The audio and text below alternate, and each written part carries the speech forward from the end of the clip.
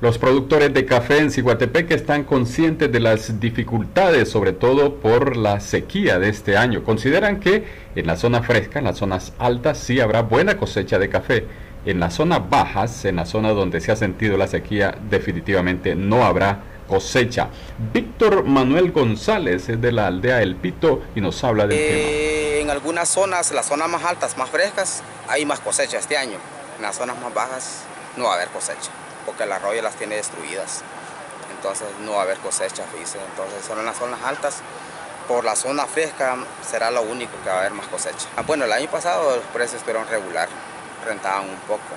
Pero vino el impacto del abono, del fertilizante, ¿verdad? Que es más caro, entonces mm, ahí se vuelve a consumir ese dinero. Sí, en que esto es poquito, usted imagínese, por cada casi 12 quintales en oro le están dando un quintal de fertilizante el productor grande consume cantidad de, abono en sus fincas. Entonces, por una manzana está gastando sus 5 quintales de fertilizante.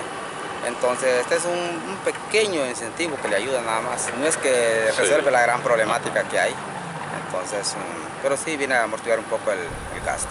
Víctor Manuel González lamentando que el fertilizante sea tan poco cuando se necesita para mejorar la producción por manzana. Dice además que habrá una buena producción, pero en las zonas frescas, en las zonas altas habrá buena producción de café y considera que el precio ojalá pueda mejorar para fin de año.